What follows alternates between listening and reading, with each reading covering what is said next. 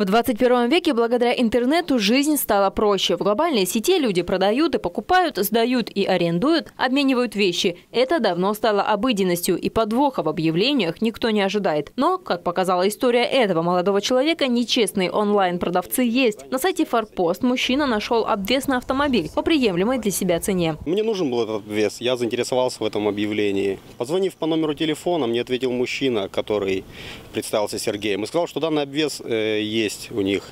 И стоит он 30 тысяч рублей. И нужно сделать за него предоплату в размере 15 тысяч рублей. Мужчина отправил аванс и решил сразу же заказать у этого же продавца резину на колеса. Некий Сергей, продавец деталей для авто, сказал, что стоить это будет 20 тысяч рублей. Предоплата – половина суммы. Товар молодой человек должен был получить через 8-10 суток. Когда подходило время получать мой товар, я позвонил по данному мне номеру, Сергею, но телефон был заблокирован. Я зашел на форпост и попытался найти это объявление, чтобы как-то связаться с продавцом. Но объявление я не нашел.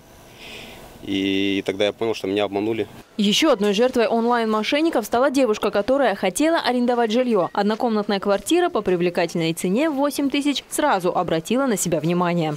Это оказалось агентство.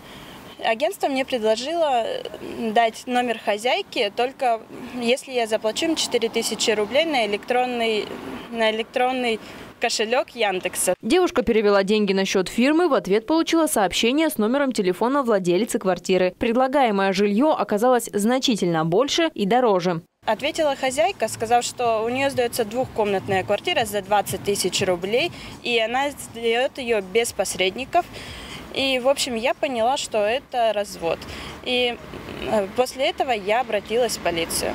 Оба дела об интернет-мошенничестве расследуют правоохранительные органы. Однако раскрыть преступление, совершенное в сетях всемирной паутины, не так просто. Как показывает практика, при расследовании уголовных дел номера телефонов, с которых осуществляют звонки мошенники, и банковские счета, на которые люди переводят денежные средства в качестве залога, зарегистрированы в других регионах России. А это, в свою очередь, отражается на ходе расследования уголовных дел. В частности, необходимо время для того, чтобы направить запросы в соответствующие организации других регионов. Не попасться на удочку мошенников легко. Сотрудники полиции рекомендуют следовать простым правилам. Не отправляйте деньги на незнакомые счета. Назначайте личную встречу с продавцом или агентом. Обязательно просите расписку или заключайте договор об оплате. А также лучше не прельщаться дешевым товаром. Ведь чем больше сумма в объявлении отличается от средней рыночной, тем больше вероятность, что это предложение от мошенников. Екатерина Рехтина, Игорь Антонов, Матвей Мугер. Телемикс.